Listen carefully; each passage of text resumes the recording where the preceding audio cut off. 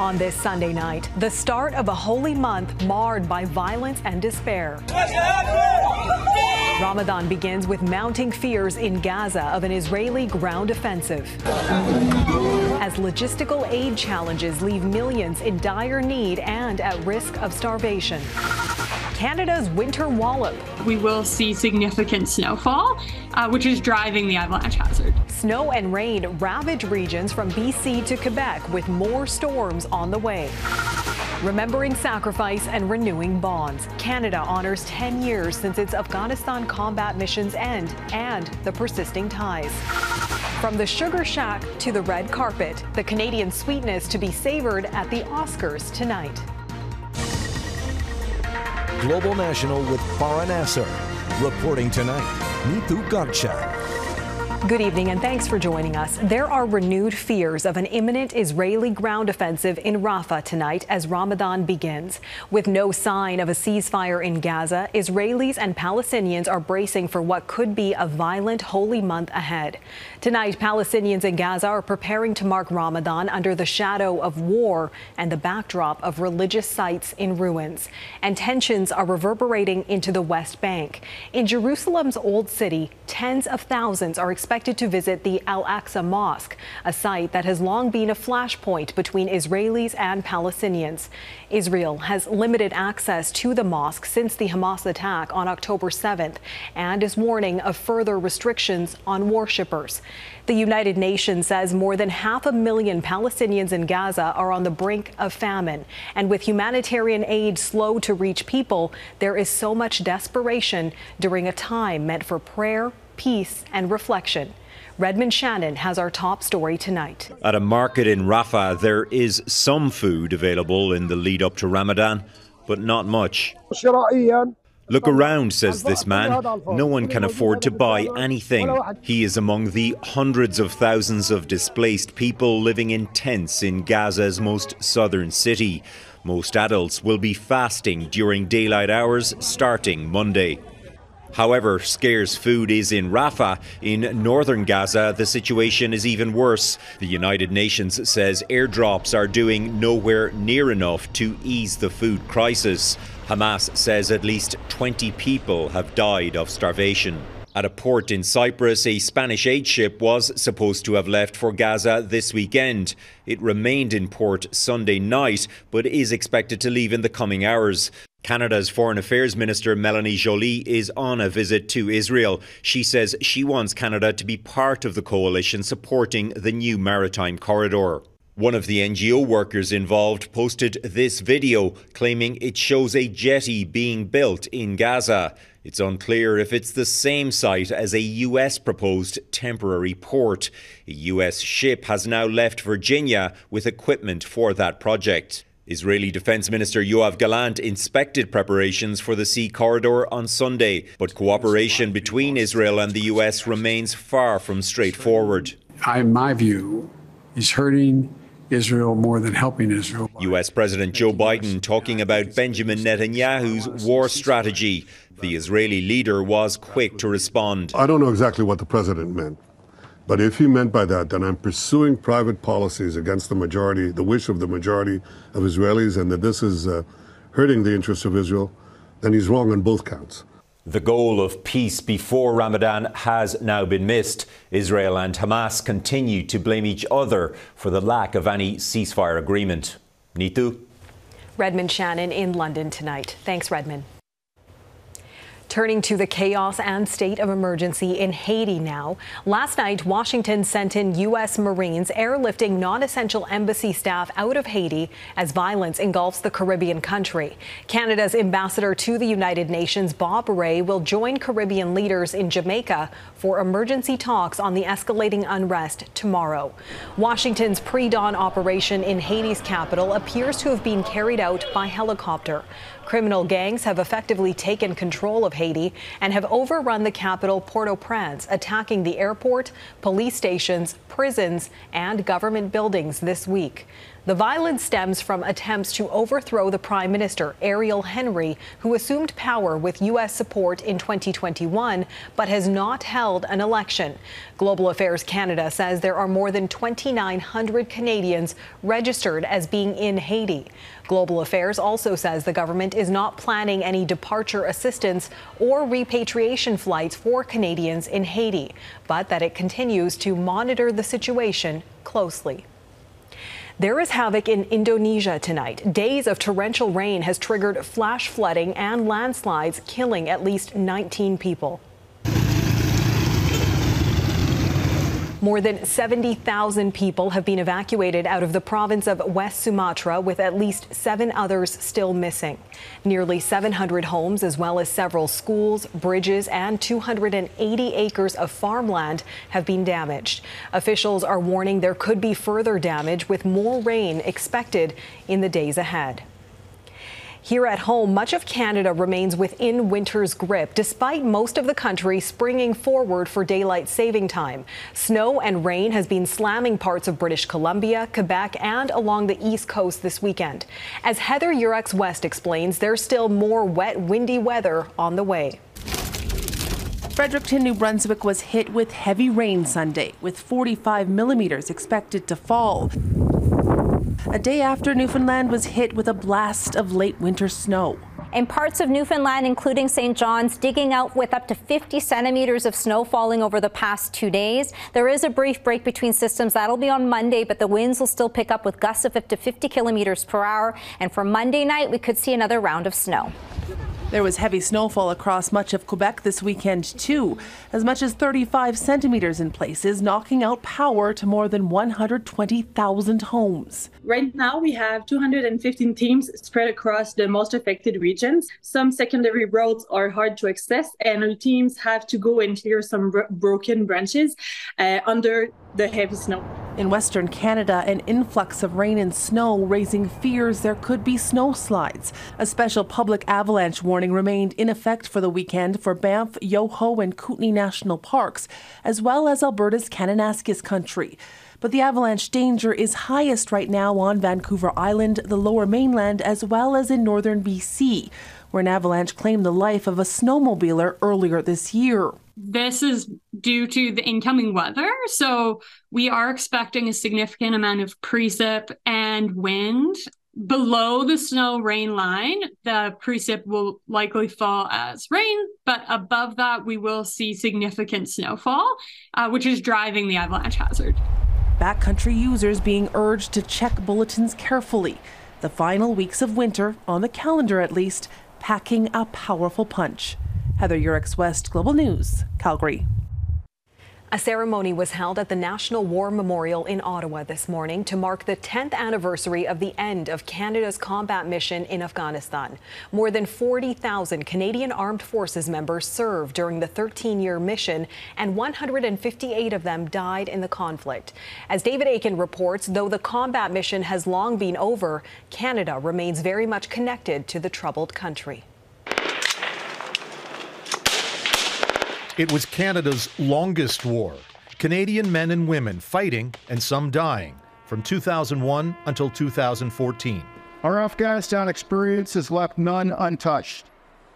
Many, including families, are scarred physically, mentally, and morally from it. Wayne Eyre is now Canada's top general, but he was a commander in the Afghanistan capital of Kabul on the day Canada's fighting there ended. Many of us have asked and have been asking, was it worth it? And the answer to that question is deeply personal. I think it was very definitely worth it. Um, I noticed um, my two tours, the, the difference. What happened in Afghanistan in recent years doesn't change the nature of my service or my time or my experiences or those of my friends in Afghanistan. We were there, as, as General Eyre said, we were doing exactly what the country asked us to do. Canada's fighting ended in 2014, but conflict in the country did not. Our members served with valor and selflessness. They were there to make a difference, and they did. Canada moved to providing Afghan governments with aid and advice. But since the Taliban takeover of the country in 2021, Canada has been trying to take in refugees. Amadella Yakubi was a civil servant forced to leave Afghanistan three years ago. I don't have choice because Afghanistan for me was very difficult. He had not seen his wife and two daughters since then, until their reunion last week in Calgary. They were part of a group of 300 new Afghan refugees. In Afghanistan, uh, daughter don't go to the school, don't go now. My daughter coming here, go to school. My daughter, my family here is free, can go every place. But I'm very happy for that. There are those who believe Canada can do more. There are Afghans, for example, who have had to flee the Taliban. They're in neighboring countries like Pakistan, hoping to get their chance to start a new life here in Canada. David Akin, Global News, Ottawa. In Oakville, Ontario, a long-standing monument at a private cemetery has been removed after much controversy over who it was honoring.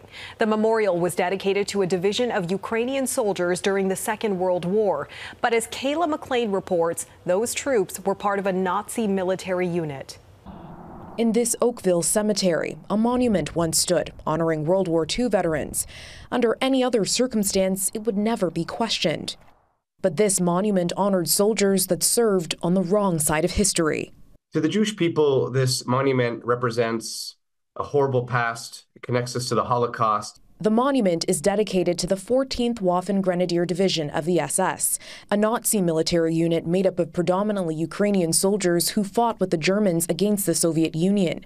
The plot purchased by veterans of the division and erected in 1988 they would have sworn allegiance to Adolf Hitler and to the SS, and they would have participated um, consciously in actions that would have helped to facilitate uh, the Holocaust. Efforts to have the monument removed gained steam nearly six months ago when Yaroslav Hunka, veteran who served in the same division, received a standing ovation in the House of Commons, provoking international outrage.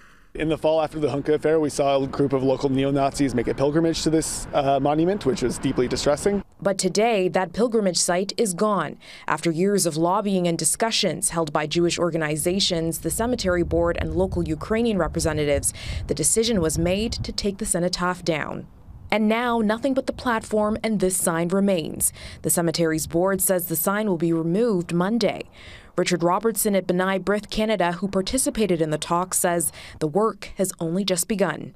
It's incumbent that the removal of this monument be used as an example to further spurn our government to continue to release information to the public about Canada's Nazi past so that we can learn from it.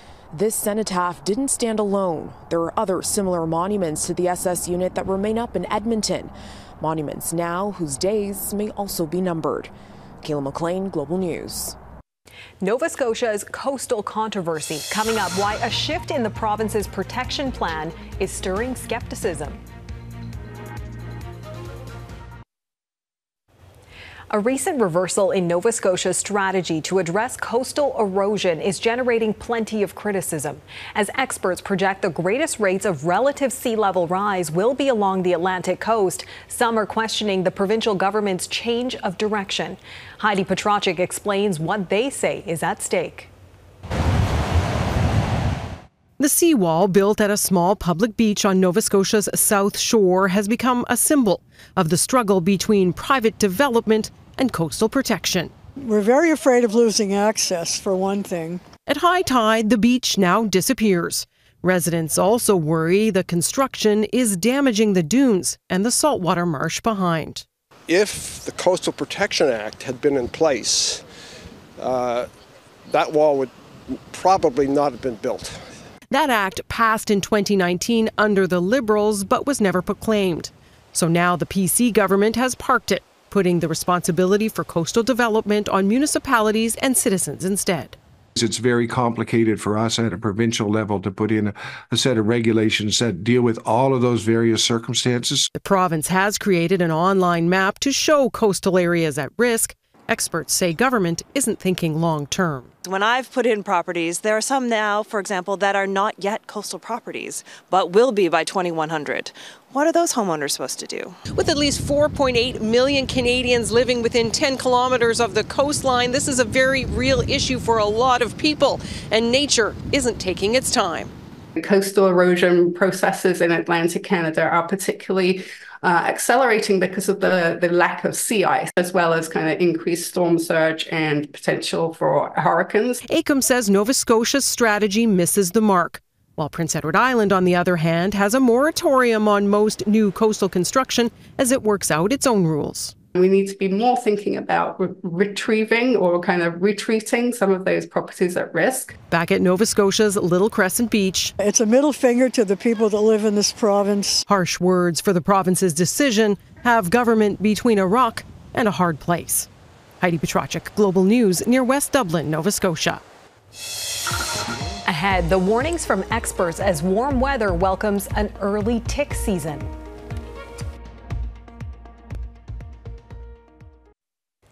Spring is fast approaching, and with the change in season comes the risk of ticks and the disease they carry. And a mild winter means the arachnids may have gotten a bit of a jump in terms of reproduction and are already lurking in places you may not expect. Tonight, Catherine Ward looks at what you need to know. You can't just wait till the spring feels like spring with crocuses to worry about ticks. As people embrace this year's unseasonably warm weather, Associate Biology Professor David Beresford says it's crucial to remember ticks are also part of the package deal. They only need about 4 degrees Celsius and they're active and they're questing. They want to grab on and they want to bite. This year, the National Veterinary Association says it is even more concerned than usual, saying recent research has shown that ticks infected with tick borne pathogens may actually be more resilient than uninfected ticks, adding these fitter, better, faster, stronger ticks can increase the risk for people and pets across our country. Veterinarian Dr. Maggie Brown Burry explains. They are the first ones to kind of come to life when we hit that temperature that they need. And so they're the ones that are most likely going to be biting you, and that means increased risk of disease transmission. In Canada, the ones to watch for are black legged ticks, also known as deer ticks. The tick will get onto you and, and you won't feel anything. And they're really good at being sneaky. And then they'll uh, insert their mouth parts into you, they'll sort of cement them in. Health Canada says a tick has to be attached for at least 24 hours in order to transmit the bacteria that causes Lyme disease. Experts say checking yourself after being outside is an easy and effective defense. We need to get outside too. Um, and it, it's not that hard to inspect. Just be aware of it. Remember, do it. It's, it's a 10 minute operation. Catherine Ward, Global News, Toronto. Next, turning syrupy setbacks into success. How a New Brunswick business is tapping into the season's early sap flow.